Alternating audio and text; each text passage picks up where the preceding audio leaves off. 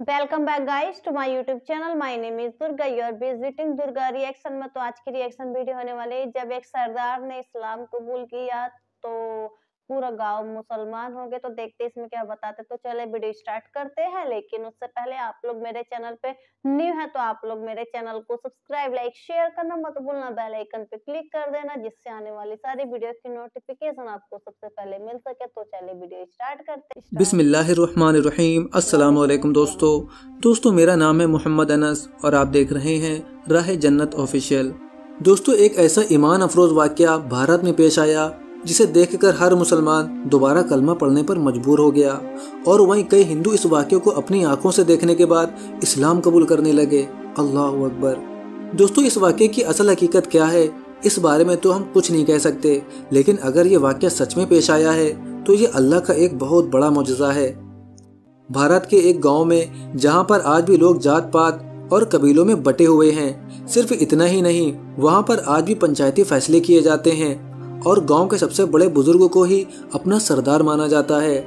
उसी गाँव में पेश आने वाला ये वाक्य आपको हैरान करके रख देगा कि जब इस कबीले के सरदार मरा और उसे बाकायदा लकड़ियों पर रख कर आग लगाई जाने लगी तो जो मंजर पेश आया, उसे देखकर हर कोई हैरान हो चुका था। हिंदू तो पूरे गाँव में भागने लगे और ये ऐलान करने लगे कि करिश्मा हो गया। ये हमारे भगवान का करिश्मा है। मगर जब हकीकत सामने आई तो सभी हिंदुओं की बोलती बंद हो चुकी थी। इससे पहले कि इस ईमान अफरोज वाक्य को आप तक पहुँचाया जाए, अगर आप हमारे चैनल पर नए हैं तो हमारे चैनल को सब्सक्राइब कर दें। और दोस्तों, अगर आप भी थोड़ा बहुत इंस्टाग्राम चलाना जानते हैं और उससे हज़ार दो हज़ार डेली के अर्न करना चाहते हैं तो हमें इंस्टाग्राम पर डीएम करें। दोस्तों, फजर का वक्त था, जब उस छोटे से गाँव में ये ऐलान हुआ कि इस गाँव के सरदार, जो कि पिछले दो माह से शदीद बीमार थे, वो वफात पा चुके हैं। इस खबर का सुनना था कि हर कोई सुबह सुबह उठकर अपने भगवान के सामने प्रार्थना कर रहा था कि उनका सरदार उनके सरों पर सलामत रहे। वो सभी रोते हुए सरदार के घर की जानब आने लगे थे। रोते हुए कहने लगे कि हमने तो इतनी दुआएँ की थी, पूजा की थी और मन्नतें मांगी थी कि हमारा सरदार ठीक हो जाए। हम 101 नारियल भेंट चढ़ाएँगे। मगर उनका सरदार, जिसने हमेशा उनके दरमियान अमन कायम किया हुआ था और हर एक के साथ बड़ी इज़्ज़त के साथ पेश आया था वो अब वफात पा चुका था। उसी कस्बे में कई मुसलमान घराने भी थे। या यूँ कहा जाए कि इस गाँव में 60 फ़ीसद हिंदू और 40 फ़ीसद मुसलमान रहते थे। इसके बावजूद सरदार ने कभी किसी के साथ नाइंसाफ़ी नहीं की थी।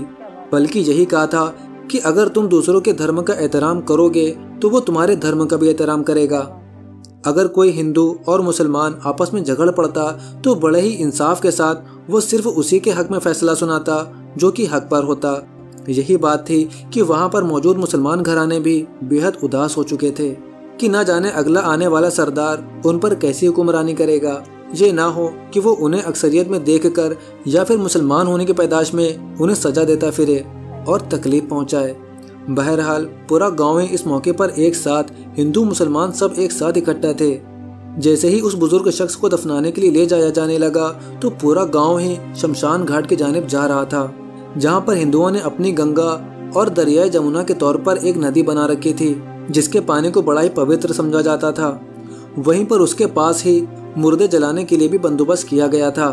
फ़ौरन आला दरख्त की लकड़ी को वहाँ पर लाया गया और लकड़ियों के तय लगाते हुए उन पर मिट्टी का तेल गिराया जाने लगा कि मुर्दे को जल्द से जल्द आग लगाई जा सके। दोस्तों, ये मंजर बड़ा ही हौलनाक था। वहाँ पर कई मुसलमान भी मौजूद थे, मगर जब उन्होंने देखा कि मुर्दे को आग लगाई जाने लगी है तो वो इस्तगफार का विरद करते करते वहाँ से जाने लगे, कहने लगे कि हमारे यहाँ तो मुर्दों को बड़े ही बाइज्जत तरीके से ज़मीन में दफन कर दिया जाता है। यूँ मुर्दे की बेहरमती नहीं की जाती कि उसे मरने के बाद जलाया जाए और रस्सियों से दो चार किया जाए। दोस्तों, उस मुर्दे को उन लकड़ियों पर लिटा दिया गया और फिर वो सब हिंदू अपने पंडित के साथ मिलकर अजीब से मंत्र पढ़ने लगे। साथ साथ उस बूढ़े बुज़ुर्ग के ऊपर लकड़ियाँ भी रखते जा रहे थे। जैसे ही लकड़ियाँ रख कर पीछे हटे उस बुज़ुर्ग का बेटा लाश के इर्द गिर्द घूमते हुए बाकी के रस्मों रिवाज को पूरे करने लगा। तो देखते ही देखते लकड़ियाँ लाश से गिरकर नीचे गिर चुकी थीं। ये मंजर देखकर लोग हड़बड़ाने लगे। आखिर उस बुज़ुर्ग को देखा गया और फिर उन लड़कों को डांटा जाने लगा, जिन्होंने मुर्दे पर लकड़ियाँ रखी थीं। कहने लगे कि हमारे यहाँ इसे बड़ी ही बेदबी समझा जाता है कि जब मुर्दे के ऊपर लकड़ियाँ गिर जाएँ, ये बदसगुनी होती है। इतना कहने के बाद उन्होंने दोबारा मुर्दा सरदार पर लकड़ियाँ रखी और एक मर्तबा फिर अपनी रीति रिवाज जारी रखा इसके साथ ही जैसे ही लकड़ी जलाकर मुर्दे को आग लगाई जाने लगी तो अचानक लकड़ियाँ एक मर्तबा फिर नीचे गिर चुकी थीं। उसे ऐसा लग रहा था कि जैसे जलजला सा आया है, मगर सब कुछ अपनी जगह पर ठहरा हुआ था ये लकड़ियाँ सिर्फ़ और सिर्फ़ उस सरदार से ही गिरी थीं। लोग ये देखकर एक दूसरे का चेहरा देखने लगे और आगे आकर सरदार को देखा जो कि यूँ ही बेसुध लेटा था। पंडित कहने लगा कि हो ना हो, कोई अनहोनी होने वाली है। हमारे ये सरदार बड़े ही नेक थे। हर एक के साथ इंसाफ कायम किया। मगर मुझे लगता है भगवान इन्हें माफ़ नहीं कर पा रहा, क्योंकि उन्होंने गैर हिंदुओं की हिमायत की और उनके साथ अच्छा बर्ताव रखा। ये मुसलमानों के हक में भी फैसला करते रहे और उनके साथ बैठकर खाना भी खाते रहे। ये जानते हुए भी कि वो हमारे गौ माता का सरेआम कत्ल कर देते हैं। हमारे भारत में तो इस पर पाबंदी है, मगर दूसरे ममालिक में देखा जाए तो ये सरे आम कतार में खड़े करके हमारी माँ को सरे आम जिबा कर दिया करते हैं। यही वजह है कि हमारे सरदार को भगवान कबूल नहीं कर पा रहा। ये सुनकर तो लोग फ़ौरन पूजा पाठ करना शुरू कर चुके थे, मगर तभी देखते ही देखते जब मुर्दा सरदार के पास जाकर देखा गया तो उनके पैरों के नीचे से ज़मीन निकल चुकी थी, क्योंकि वो मुर्दा सरदार तो एक मरतबा फिर से सांस लेने लगा था। जब देखा कि वो धीरे धीरे अपने आँखें भी खोल रहे थे और आँखें खोलने के साथ साथ वो अपने लब भी हिला रहे थे। ये मंजर देख कर तो पंडित समेत कई लोग डरकर पीछे हो गए। उन्हें तो यकीन ही नहीं आ रहा था कि उनका सरदार दोबारा ज़िंदा हो चुका है। एक पल को तो उन्हें समझ में ही नहीं आया कि वो इस बात पर क्या इजहार करें, क्योंकि ऐसी कैफियत उन पर पहली मर्तबा वाजी हुई थी। उन्होंने फ़ौरन अपने मुर्दा बुज़ुर्ग के जिस्म से लकड़ियों को हटाना शुरू कर दिया और फिर फ़ौरन उन्हें अस्पताल ले जाया गया। वो अभी तक कुछ भी नहीं बोल पा रहे थे। उनके जिस्म को मुसलसल झटके लग रहे थे। ऐसा लग रहा था जैसे उन पर किसी चीज़ का खौफ सता रहा हो। शायद इस बात का खौफ था कि वो ज़िंदा थे और ऐसे में अगर उन्हें जला दिया जाता तो वो सचमुच मर सकते थे। जैसे ही उन्हें अस्पताल ले जाकर चेकअप कराया गया तो डॉक्टर भी यही कहने लगे कि ये तो एक चमत्कार हो चुका है। वरना इनकी तो सांस बिल्कुल ही रुक चुकी थी। और अब दोबारा से इनका दिल का धड़कना तो जैसे वो अपनी ज़िंदगी में वापस लौट चुके हैं। डॉक्टर कहने लगे कि जिस्म अभी तक कोमा की कैफियत में है। ऐसा लग रहा है जैसे किसी चीज़ को खौफ है। इसी वजह से ये अभी तक बोल नहीं पा रहे हैं। पूरा गाँव उनके लिए दुआओं में मशगूल था। मगर जैसे ही चंद रोज बाद वो बुज़ुर्ग बोले तो सबसे पहले उन्होंने कलमाए तैयबा का विरद किया। वहाँ पर मौजूद हिंदू डॉक्टर तो हैरान हो चुके थे। उन्हें तो यकीन नहीं आ रहा था कि हिंदू सरदार, जो कि अपने वक्त में पंडित भी रहा था, वो मुसलमानों का कलमा कैसे पढ़ सकता है? वो होश में आते ही रोने लगा और फ़ौरन कलमाए तैयबा का विरद करने लगा। हर कोई उसे देखने लगा कि आप क्या कर रहे हैं? आप तो हिंदू हैं और मुसलमानों का कलमा क्यों पढ़ रहे हैं?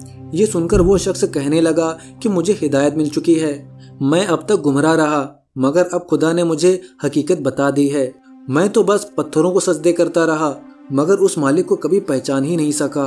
वो जब अपनी बस्ती भी आए तो हर कोई उनसे मिलने के लिए उनके घर में मौजूद था, और हर कोई यही पूछ रहा था कि आप पर कैसी कैफियत थी। आप तो मर चुके थे, फिर दोबारा ज़िंदा कैसे हो गए? वो शख्स अपनी आँखों में आँसू साफ़ करके कहने लगा कि बेशक मेरी रूह परवाज कर चुकी थी। मैंने अपनी आँखों से देखा था, जब मेरे जिस्म से मेरी रूह जुदा होकर आसमान की जानब जा रही थी। मगर इसके बाद जो मनाजिर मैंने देखे, वो मेरे लिए नाकाबिल यकीन थे। मेरे जिस्म को जलाया जा रहा था। मेरा जिस्म जिस कदर जल रहा था, मैं तकलीफ़ से तड़प रहा था, रो रहा था, और फिर दो लोग मेरे पास आए, जो मुझे कंधों से पकड़कर ले जाने लगे। फिर उन्होंने मुझे काल कोठरी में फेंक दिया, जहाँ पर मुझ जैसे कई हिंदू मौजूद थे। मेरे दादा, परदादा सभी वहाँ पर मौजूद थे, और दोजक की आग में जल रहे थे। वो दोजक की आग थी जहाँ पर रूह को लर्जा देने वाले मनाजिर मैंने देखे थे। बस वहीं से मुझे हिदायत मिल गई। जब मैंने अपने जैसे कई गुमराह लोगों को देखा, मैं अपने गुनाहों से तौबा करने लगा और कहने लगा कि मुझे दोबारा से ज़िंदगी दे दी जाए। मेरे आका, मैं अब मुसलमान बनकर ज़िंदगी जीना चाहता हूँ। मैं मजीद भटका हुआ नहीं रहूँगा, बल्कि खुद भी हिदायत पा जाऊँगा और बाकियों को भी नेक राह की तनकीन करूँगा। अभी मैं वहाँ पर गर्मी की शिद्दत से रोता हुआ दुआ मांग ही रहा था कि जब मेरी सांस बाहर होने लगी। मुझे ऐसा लगा जैसे मुझे इस काल कोठरी से निकालकर दोबारा दुनिया में लाया जा रहा हो। और फिर देखते ही देखते मेरे वजूद में मुझे वापस डाल दिया गया। दोस्तों, कहा जाता है, इसके बाद उस बुज़ुर्ग की बात को सुनकर और उस बुज़ुर्ग की कैफियत को देखकर कई हिंदू मुसलमान होने लगे। देखते ही देखते वो पूरा गाँव मुसलमान हो गया, क्योंकि हर कोई अपने सरदार की बात को अहमियत दिया करता था। जब सरदार मुसलमान हो चुका था तो धीरे धीरे सारे हिंदू खानदान अपने पूरे खानदान समेत मुसलमान हो चुके थे। सच में कितना अच्छा लगा कि वो सरदार जो थे, वह कैसे मुसलमान बने जब वो जलाने जा रहे थे, जब उनकी मृत्यु हुई तो उनको जलाने जा रहे थे तो जब वो आ, उनकी रूह ऊपर गई तो उनको दोजक में जलना पड़ा तो वह बहुत तड़प रहे थे और देख रहे थे कि उनके साथ और भी लोग हैं जो कि दोजक में जल रहे हैं। फिर वह ऊपर वाले से माफ़ी मांगे कि मैं गुमराह था मैं अभी तक गुमराही में जी रहा था लेकिन अब मैं मुसलमान बनूँगा दूसरों को भी हिदायत दूँगा। तब उनकी रूह वापस आई और वह लोगों को बताए सच्चाई और उनकी वजह से काफ़ी लोगों ने इस्लाम धर्म अपना लिया और वो भी इस्लाम धर्म अपना लिए। भाई सच में कितना एक दिल दहला देने वाला था। सच में वीडियो बहुत ही अच्छी लगी तो आप लोग बताना कितना, आप लोगों को वीडियो कैसा लगा? आप लोग कमेंट करके ज़रूर बताना और आप लोग मेरे चैनल पे न्यू है तो आप लोग मेरे चैनल को सब्सक्राइब, लाइक, शेयर करना मत भूलना। बेल आइकन पे क्लिक कर देना, जिससे आने वाली सारी वीडियो की नोटिफिकेशन आपको सबसे पहले मिल सके। तो फिर मिलते हैं नेक्स्ट वीडियो में।